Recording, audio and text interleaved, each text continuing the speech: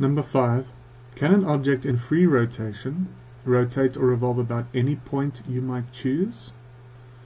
Well, again, what is free rotation? Free rotation is when you do not constrain it, when you do not constrain an object to rotate. So for example, remember you take like this spanner and you you throw it up and you apply some kind of torque okay and so as you can see this spanner is rotating it's rotating about some axis as it goes up but remember that what we learned is if it's not constrained, like for example a door, we keep coming back to a door. A door has a door hinge, so that's constrained, right?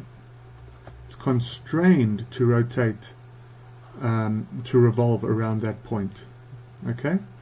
But if there's no constraint, then what's going to happen is the object will always rotate about its center of mass. Okay?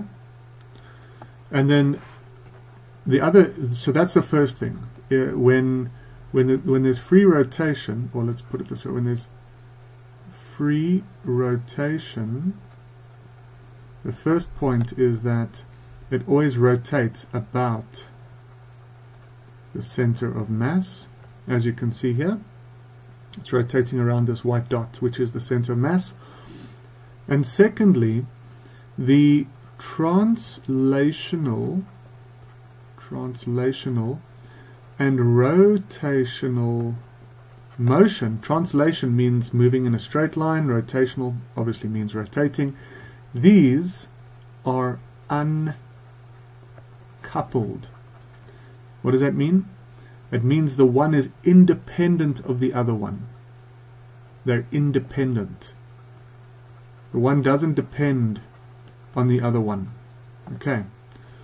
So those are the two things of free rotation. So it cannot rotate about just any one. That has to rotate, not that it has to, it does rotate about the center of mass.